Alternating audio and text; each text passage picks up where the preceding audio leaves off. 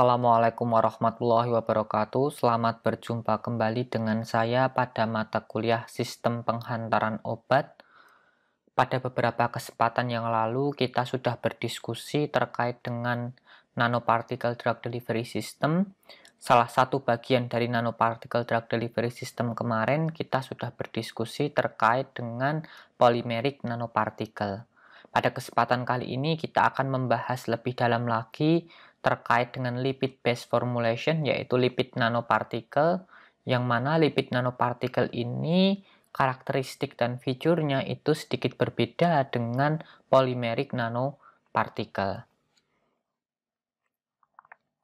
Akan tetapi sebelum kita berdiskusi lebih lanjut terkait dengan lipid nanopartikel, kita akan sedikit berdiskusi terkait beberapa obat yang telah didaftarkan di FDA ini dikategorikan menjadi tiga kategori. Kategori pertama yaitu berbasis bobot molekul, kategori kedua berbasis log P, kategori ketiga berdasar titik leburnya. Jadi kalau kita lihat dengan kategori pertama bahwa obat-obat yang didaftarkan di FDA itu rata-rata yang memiliki bobot molekul kurang dari 200 Dalton adalah hanya 4%. Jadi misalkan kita ada 100 obat itu hanya 4 obat saja yang memiliki bobot molekul rendah.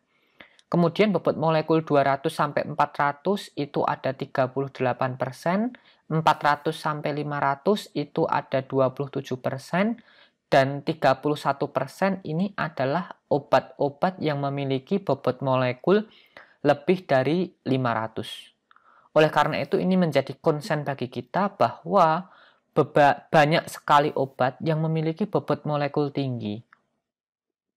Ketika obat dalam bobot molekul tinggi ini nanti, ketika dia di dalam tubuh kita, maka proses absorpsinya itu akan relatif susah. Kenapa? Karena bobot molekulnya terlalu tinggi. Apalagi 31% ini bobot molekul lebih dari 500, maka dia akan terlalu susah untuk transport secara pasif melalui membran sel kita. Kemudian kalau kita lihat dari data kedua, ini ada beberapa obat, ada 11 obat ini memiliki log P kurang dari 2. Kemudian ini memiliki ada 27% obat dengan log P 2 sampai 4. Kemudian ada 35% dengan log P 4 sampai 6 dan 27% log P-nya lebih dari 6. Artinya, hampir 60% obat itu memiliki log P lebih dari 4. Artinya ini obat ini sangat lipofilik sekali.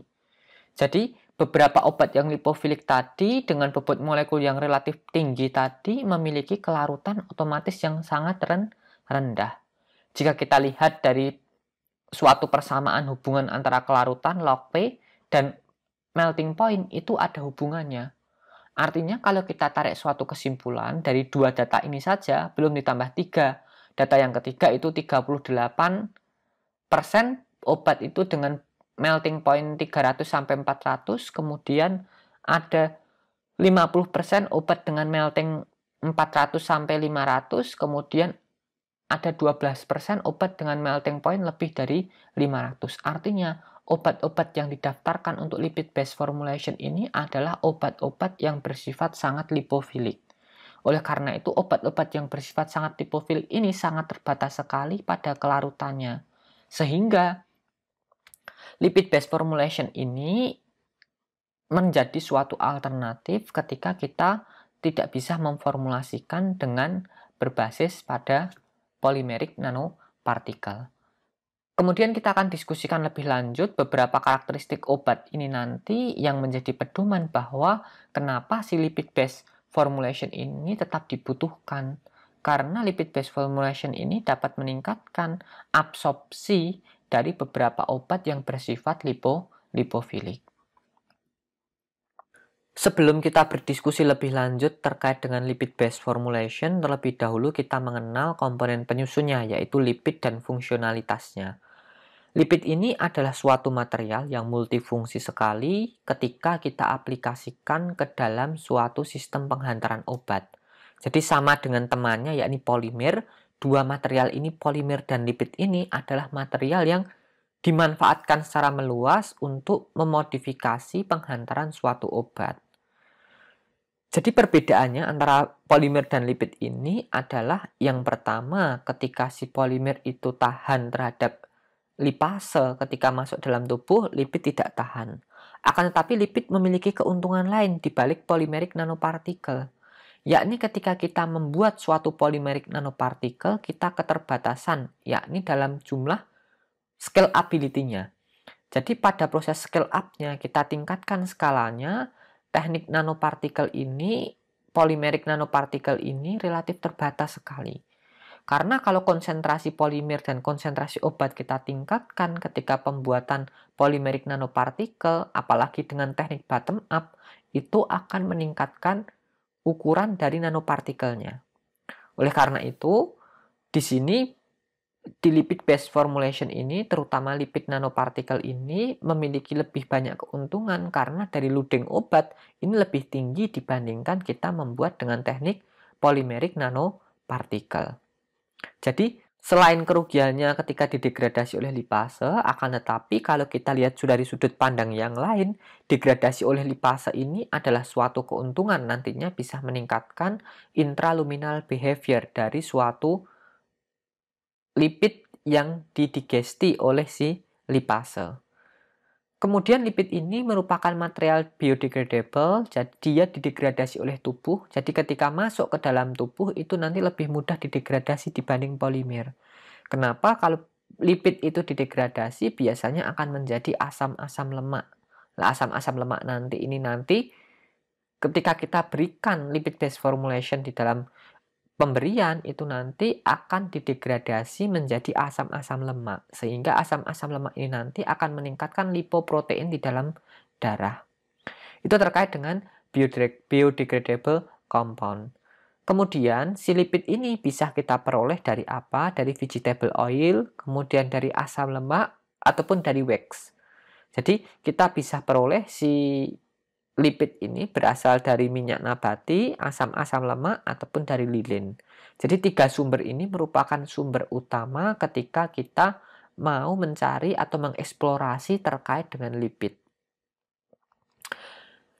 Umumnya lipid ini memiliki building block itu terdiri dari asam-asam lemak. Jadi struktur utamanya adalah asam-asam lemak. Kemudian untuk wax ini umumnya terdiri dari fatty acid ester, jadi dari ester asam lemak dengan rantai alkohol yang panjang. Jadi itu adalah wax. Jadi wax ini biasanya berbentuk lebih padat dibandingkan asam lemak.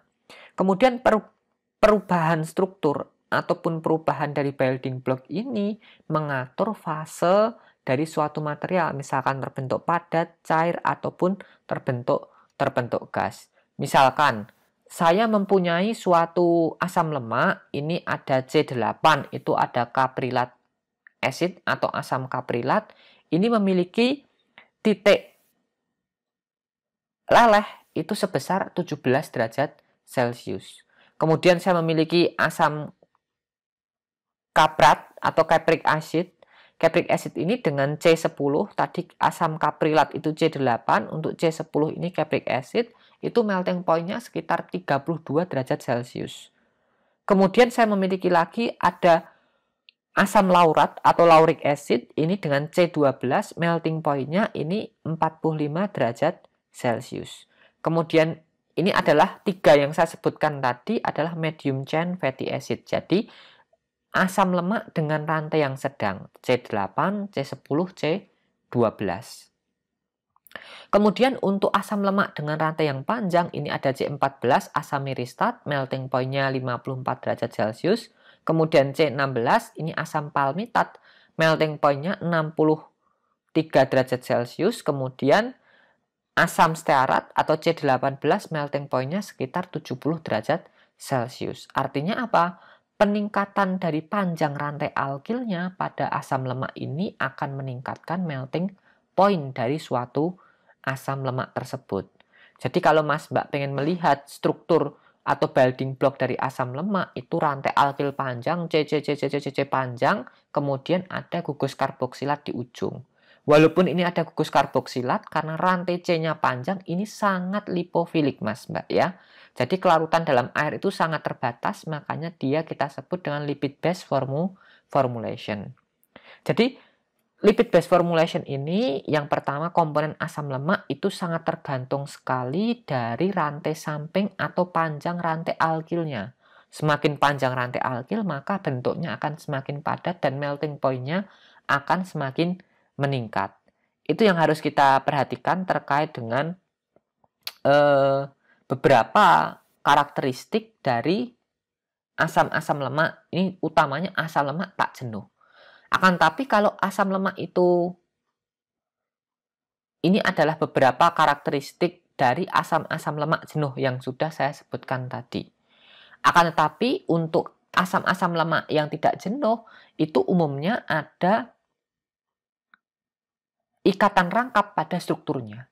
Ikatan rangkap ini otomatis dia konformasinya dalam bentuk cis sehingga kalau dia konformasi dalam bentuk cis ini dia akan membantu dalam proses absorpsi terutama mengubah fluiditas membran.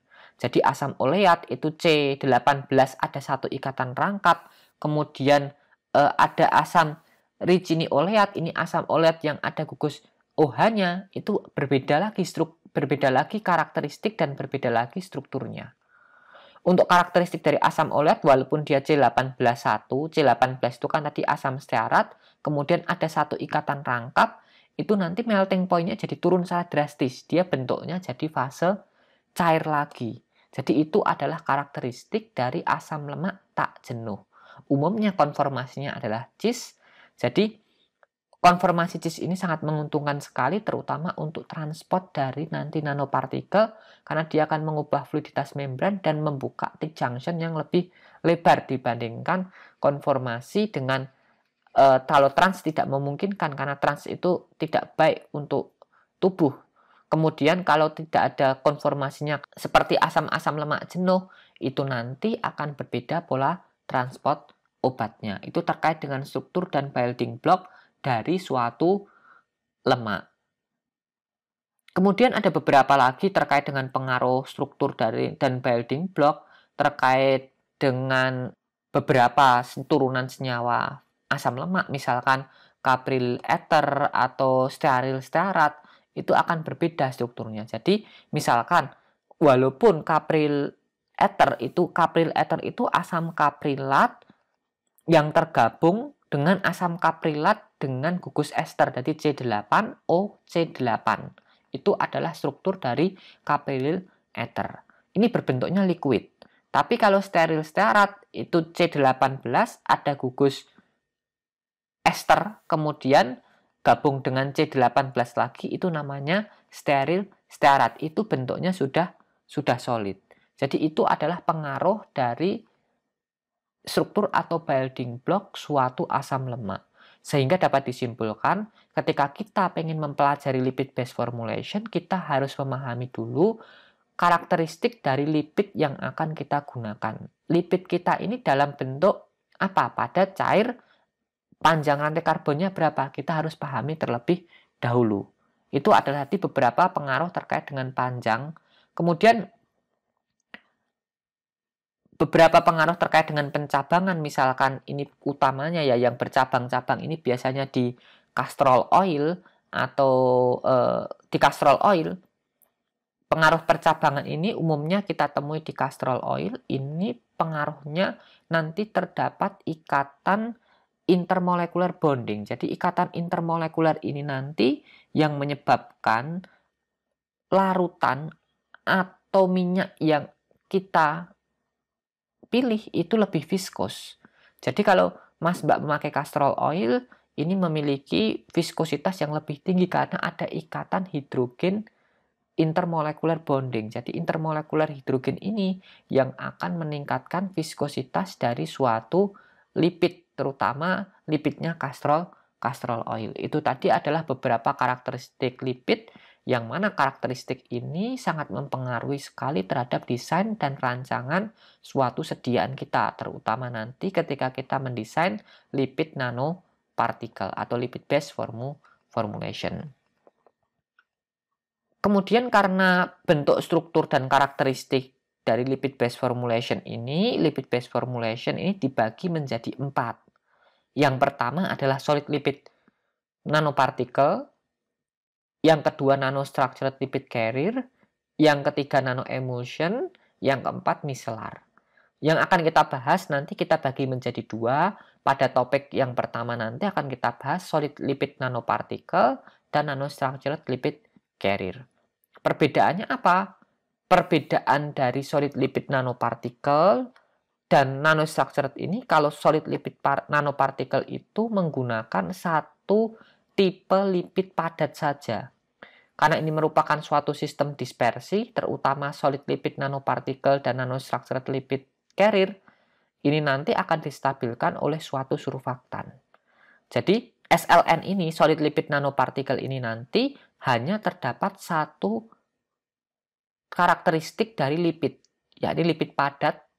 Lipid padat ini nanti obat itu akan terdispersi secara homogen baik dalam bentuk kristalin atau dalam bentuk amorf itu akan terdispersi secara homogen di dalam pembawa lipid padat ini nanti yang berukuran nano itu adalah solid lipid nanopartikel.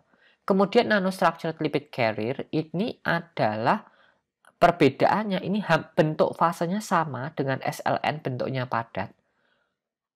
Akan tetapi pada NLC ini nanostructured lipid carrier ini pada komponen lemaknya itu tidak hanya lipid padat tapi memanfaatkan lipid cair. Tujuannya untuk apa? Untuk meningkatkan loading obatnya. Jadi kelarutan obat itu sangat terbatas sekali, terutama pada lipid padat.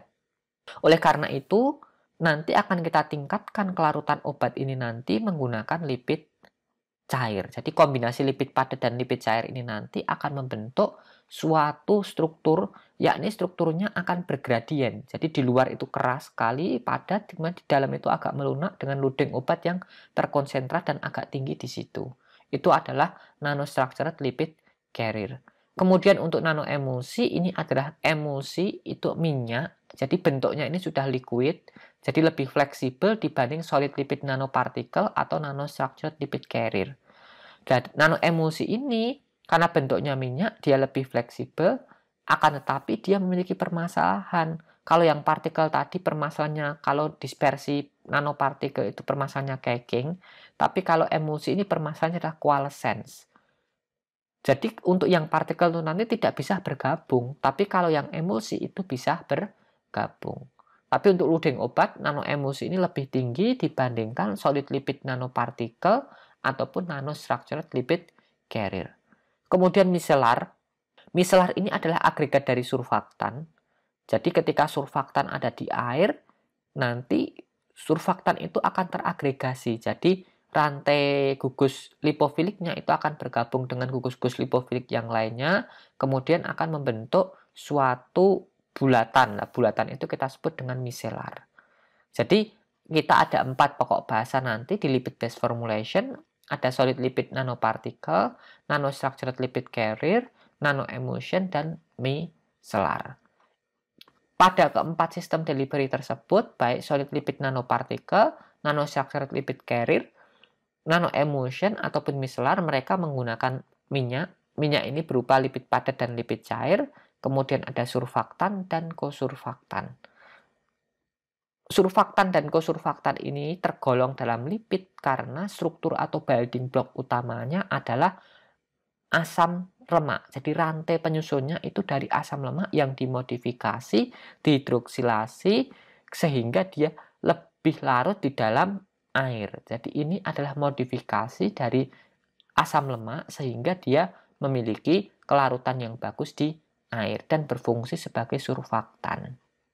Dari keempat sistem ini nanti kita akan bahas satu persatu lebih dalam agar nanti kita bisa memaknai kapan kita memilih SLN, kapan kita memilih NLC, kapan kita memilih nanoemulsi, dan kapan kita memilih micellar delivery.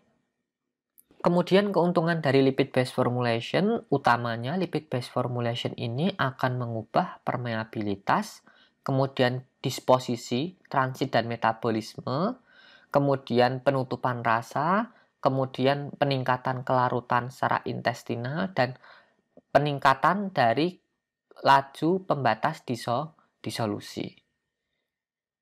Kalau permeabilitas jelas, jadi ketika kita merancang suatu sediaan yang memiliki permeabilitas yang buruk atau suatu bahan aktif dengan kelarutan yang rendah sehingga dia permeabilitas buruk, jadi bahan aktif dengan log P yang tinggi itu sebenarnya native behaviornya itu memiliki permeabilitas yang bagus. Akan tetapi untuk beberapa obat-obat tertentu yang bisa larut dan terabsorpsi melalui jalur pasif, nanti dengan lipid based formulation ini bisa meningkatkan permeabilitasnya.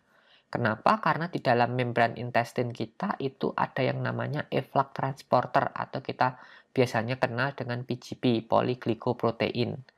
Lah si PGP ini biasanya tugasnya untuk apa? Tugasnya sebenarnya dia adalah mempertahankan tubuh kita dari benda asing. Segala benda asing yang masuk ke dalam tubuh kita itu ditendang keluar lagi dengan si sistem efflux ini. Akan tetapi ini bermasalah untuk obat-obat tertentu yang berupa substratnya dari PGP, terutama obat-obat yang memiliki struktur OH-OH semakin banyak kukus OH-OH-nya, itu PGP lebih suka biasanya. Adanya lipid based formulation ini nanti perubahan dari difusi pasif ini menjadi penghambatan efflux transporter atau meningkatkan pembukaan tick junction atau mengubah fluiditas membran dari membran intestin kita sehingga akan meningkatkan permeabilitas dari suatu senyawa obat terutama obat-obat yang memiliki permeabilitas yang rendah. Kemudian terkait dengan disposisi obat, umumnya lipid based formulation ini akan mengubah karakteristik presystemic metabolism. Jadi presystemic metabolism itu adalah suatu metabolisme yang dialami obat sebelum mengalami fase absorpsi karena dipengaruhi enzim dan ada berpengaruh dari kondisi saluran pencernaan kita ketika kita gunakan si lipid based formulation artinya dia sebenarnya juga melindungi dari berbagai aktivitas enzim. Tapi dia hanya bisa terdegradasi kalau ada enzim lipase karena si lipid ini ini mudah sekali nanti didegradasi oleh lipase menjadi asam-asam lemak. Akan tapi sistem penghantaran lipid based formulation ini bisa memproteksi dirinya dari enzim-enzim yang lain sehingga dia bisa menghindarkan dari mekanisme presystemik metabolism. Selain itu, ketika kita berikan lipid based formulation, maka dia akan meningkatkan lipoprotein. Lipoprotein ini berhubungan dengan disposisi dari obat ketika proses metabolisme. Bahkan dia bisa menurunkan e, laju atau kinetika dari metabolisme suatu obat. Beberapa obat yang kita hantarkan melalui lipid based formulation ini terutama dengan rantai alkil yang panjang jadi dengan minyak yang memiliki rantai alkil yang panjang itu nanti sistem transportnya tidak mengalami jalur sirkulasi sistemik lagi melalui pembuluh darah di saluran pencernaan tidak. Akan tapi gara-gara dia sangat lipofil nanti absorpsinya ini akan melewati fase limfatik. Jadi nanti akan dibawa pembuluh darah limfa, tidak dari vena porta hepatika masuk ke hati di metabolisme tidak, akan tetapi melalui node limfa. Nah, pada limfa ini nanti akan dibawa juga ke pembuluh darah, akan bertemu juga pembuluh darah dan pembuluh dan saluran limfa ini akan bertemu. Tapi bertemunya setelah melewati hati. Oleh karena itu, dari sistem penghantaran berbasis lipid atau lipid based formulation ini mempunyai keuntungan yakni dia bisa meningkatkan bioavailability dengan mengubah jalur disposisi dari obat. Dalam perancangan ini nanti kita harus mengetahui dasar-dasar perancangannya. Jadi tidak sembarangan lipid based formulation itu bisa diabsorpsi melalui jalur limfatik. Kemudian keuntungan yang utama, keuntungan utama yang terakhir ini adalah intraluminal behavior. Jadi bisa meningkatkan behavior dari proses di dalam tubuh atau intraluminal behavior. Jadi intraluminal behavior ini terkait dengan apa? Terkait dengan kondisi alami dari tubuh kita. Jadi ketika kita mengkonsumsi suatu obat nanti akan disekresi suatu bile salt atau suatu empedu. Lah empedu ini adalah garam yang nanti membantu untuk absorpsi beberapa senyawa yang bersifat lipofilik atau kalau kita makan makanan berlemak itu pasti akan disekresikan empedu. Beberapa keuntungan tadi kita juga bisa memanfaatkan lipid based formulation ini untuk beberapa target delivery terutama jaringan-jaringan yang memiliki depot lemak tinggi seperti hati kemudian kita juga bisa mentargetkan pada jaringan limfa karena obat-obat yang memiliki lipofilisitas tinggi dengan sistem penghantaran lipid based formulation ini terutama dengan pembawa minyak dengan rantai yang panjang itu nanti bisa masuk ke dalam fase limfatik. Jadi bisa untuk pengobatan misalkan filariasis atau pengobatan beberapa penyakit yang hanya terdapat di limfa itu bisa kita berikan solusi menggunakan lipid based formulation ini.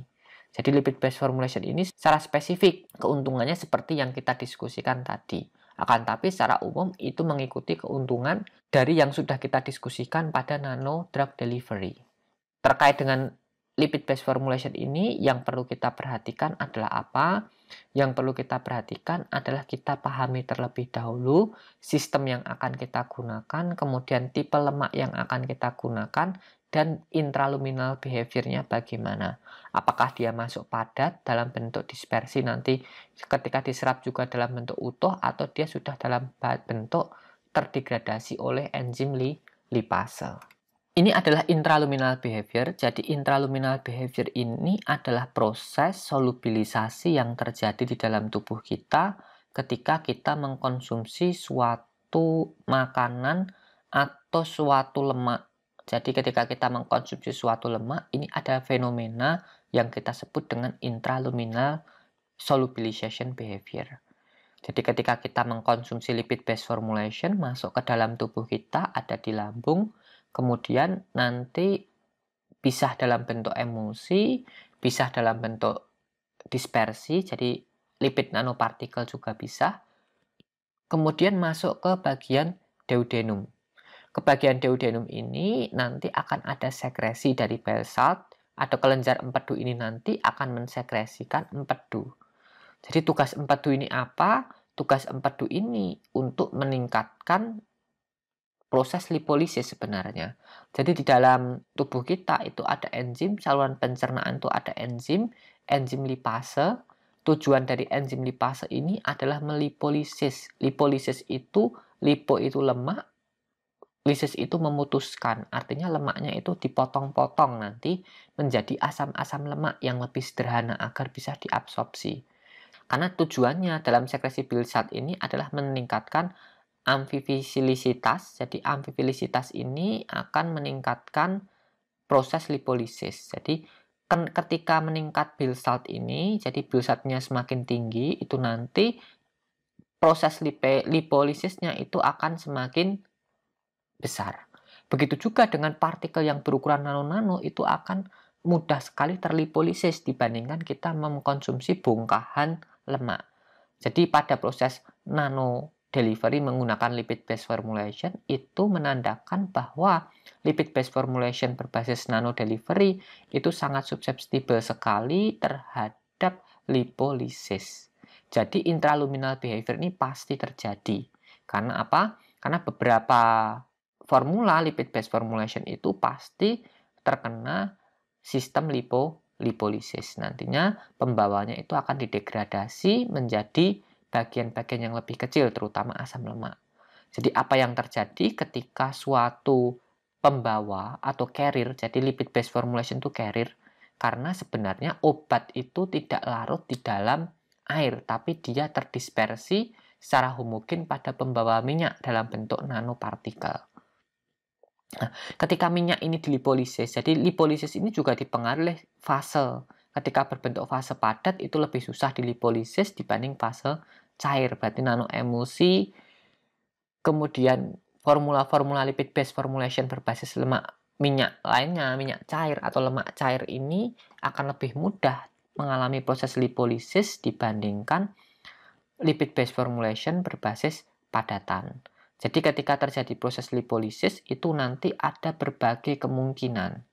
Kemungkinan pertama itu nanti terjadi proses solubilisasi. Jadi obat ketika carrier itu dirusak oleh lipase, otomatis obatnya akan keluar dari sistem. Nah, tergantung dari fase obatnya ini, apakah dia fase kristalin atau fase amorf. Namanya fase kristalin itu dia terinkorporasi dalam lipid base formulation dalam bentuk kristal, jadi kristal-kristal itu. Sedangkan kalau dalam bentuk amorf itu ter dia terdispersi secara molekuler pada pembawa. Pembawanya ini bisa lipid tadi ter terdispersi secara molekuler jadi satu molekul, satu molekul, satu molekul.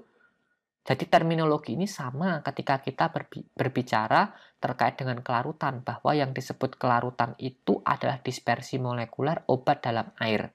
Sedangkan sistem AMOF dalam lipid based formulation ini adalah si obat itu terdispersi secara molekuler dalam pembawa lipid.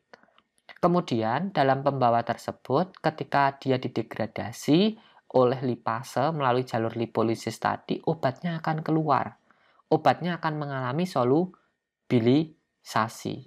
Jadi ketika proses solubilisasi ini bisa juga terbentuk beberapa fase, misalkan terbentuk liquid kristalin atau fase liquid kristalin atau terbentuk juga miselar. Ada miselar kenapa? Karena ada bilsat. Bilsat itu juga surfaktan. Obat itu bersifat lipofilik ketika kadarnya tinggi. Bilsat ini akan membentuk suatu sistem equilibrium yang kita sebut dengan misel. Jadi surfaktan itu kalau dalam suatu kesetimbangan akan bergabung dengan teman-teman yang lainnya sehingga membentuk suatu bulatan yang kita sebut dengan miselar. Nah, obat-obat yang bersifat lipofilik tadi bisa juga dia ketika dia degradasi sudah dalam bentuk molekuler, berarti kalau sudah dalam bentuk molekuler dia sudah terlarut sebenarnya. Tinggal ada beberapa mekanisme yang terjadi setelah proses solubilisasi. Jadi setelah proses solubilisasi bisa terbentuk liquid kristalin, kemudian nanti akan mempengaruhi mekanisme supersaturasi. Jadi supersaturasi itu adalah fenomena di mana kelarutan obat itu di atas dari kelarutan equilibriumnya. Itu adalah fenomena supersaturasi. Nanti kita akan diskusikan lebih lanjut terkait dengan mekanisme supersaturasi ini. Jadi intinya ketika si pembawa yang membawa obat ini didegradasi oleh lipid lipolisis. Jadi ketika pembawa ini didegradasi oleh lipase menjadi lipid-lipid dengan komponen yang lebih sederhana, nanti obat ini akan mengalami fase solubilisasi. Jadi bisa terbentuk miselar, bisa terbentuk vesikel-vesikel lainnya. Jadi obat ini absorpsinya sudah tidak menentu lagi, bisa masih tetap absorpsi dalam bentuk nanopartikel atau absorpsinya sudah dalam bentuk miselar atau perubahan mekanisme solubilisasi. Jadi ketika terjadi proses solubilisasi, kadar obatnya ini sangat tinggi sekali, nanti kita sebut dengan mekanisme supersaturasi. Sangat tinggi ini jika dibandingkan dengan kelarutan jenuh dari suatu obat, karena suatu obat itu memiliki struktur molekul, dan suatu struktur molekul itu dibatasi oleh suatu kelarutan equilibriumnya. Akan tetapi pada mekanisme intraluminal behavior ini terjadi mekanisme supersaturasi. Jadi kenaikan kelarutannya meningkat drastis. Kenapa kelarutannya meningkat drastis? Karena ada bell salt di situ yang membantu proses emulsifikasi juga. Sehingga dia akan menstabilkan dari sistem dispersinya dan meningkatkan kinetika supersaturasi. Jadi ketika terjadi proses supersaturasi ada dua kemungkinan Kemungkinan pertama akan terabsorpsi, jadi setelah solubilisasi tadi juga bisa langsung diabsorpsi. Ketika supersaturasi juga bisa diabsorpsi. Akan tetapi ketika supersaturasi ini tidak bisa diabsorpsi, maka dia akan mengalami presipitasi. Dia akan mengendap. Itu yang perlu kita perhatikan terkait dengan beberapa karakteristik dari intraluminal behavior ini. Selain itu, pada intraluminal behavior ini ada perubahan pH. Jadi pH di intestin itu sekitar 6,5 sedangkan pH di mukus itu sekitar 5,5 karena sifatnya yang bersifat asam karena kontribusi dari asam sialat yang merupakan komponen utama penyusun si mukus ini nanti.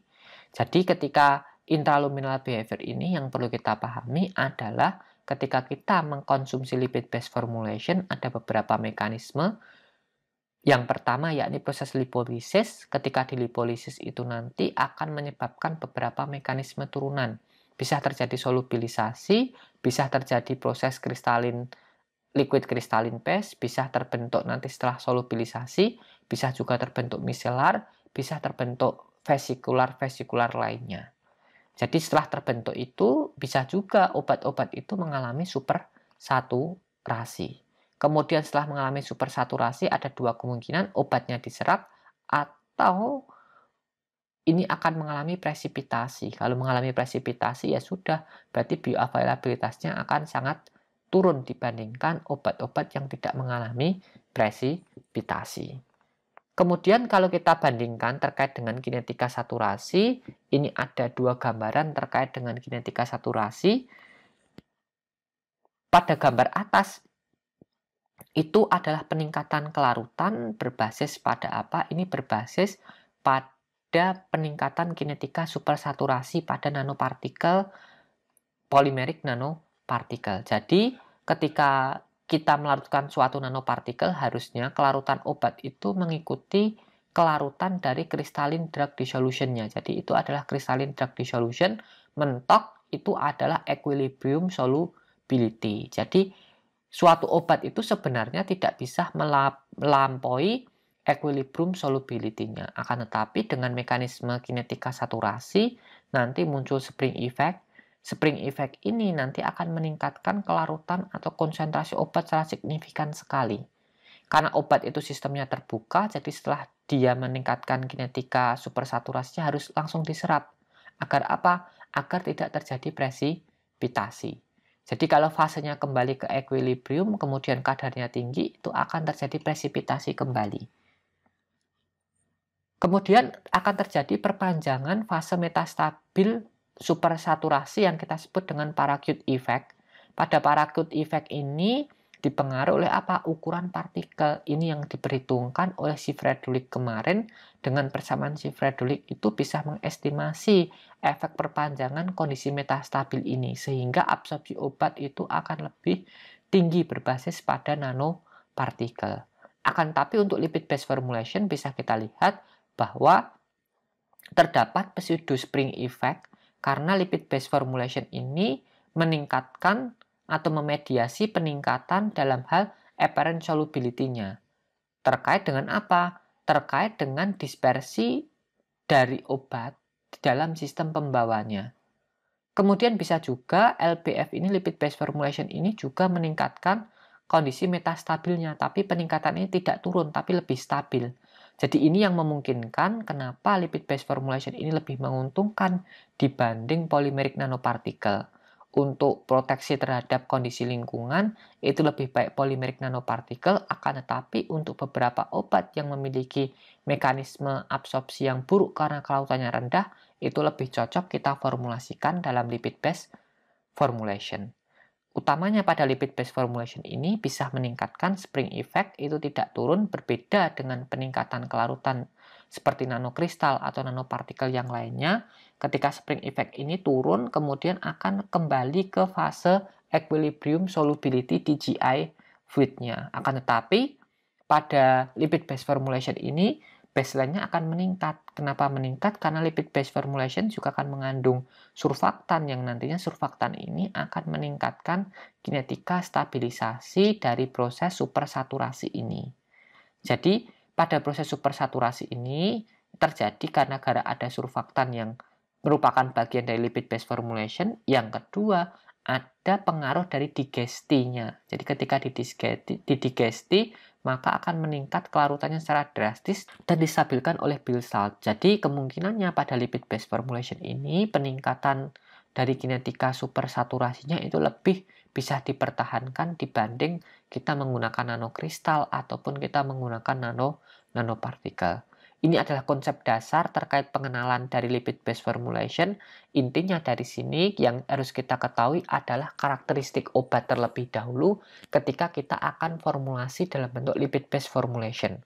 Umumnya obat-obat yang memiliki kelarutan yang sangat rendah atau log P yang sangat tinggi itu lebih cocok kita formulasikan dalam lipid based formulation. Kemudian yang kedua kita juga harus pelajari terkait dengan karakteristik dari lipid apa yang kita gunakan karena karakteristik lipid ini menentukan nanti fitur dari sistem penghantaran obat yang akan kita rancang. Kemudian setelah itu kita harus pahami juga terkait dengan intraluminal behavior karena ini pasti akan terjadi ketika kita menghantarkan obat berbasis pada lipid based formulation. Sehingga kita bisa tahu keuntungan dari peningkatan kinetika supersaturasi atau kita bisa memperpanjang dari proses kinetika supersaturasi agar proses absorpsi obat tidak ada perpanjangan fase absorpsinya. Demikian diskusi kita pada bagian pertama ini. Nanti kita akan lanjut pada lipid nanopartikel. Semoga kita dalam kondisi sehat selalu. Assalamualaikum warahmatullahi wabarakatuh.